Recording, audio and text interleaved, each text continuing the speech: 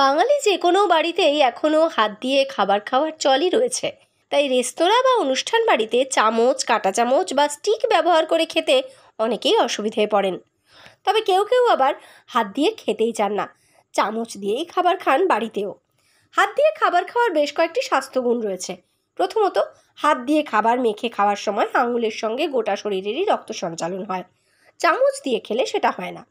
হাতে থাকা ভালো ব্যাকটেরিয়া খাবারের সঙ্গে যুক্ত হয়ে খাবারের হজমে সাহায্য করে। চামচ দিয়ে খেলে সেটা হয় না। হাত দিয়ে খাবার খেলে কম খাওয়া হয়, এতে ওজন বৃদ্ধির আশঙ্কাও কম থাকে। আবার হাত দিয়ে খেলে চিবোনোর জন্য বেশি সময়ও পাওয়া যায়। এক ক্লিনিক্যাল জার্নালে প্রকাশিত তথ্য অনুযায়ী হাত দিয়ে খেলে টাইপ টু ডায়াবেটিসের আশঙ্কা অনেকটা কমে যায়। ফলে যতটা সম্ভব হাত দিয়ে খাবার খাওয়ার চেষ্টা করুন। বাচ্চাকেও সেভাবেই খাওয়া শেখান।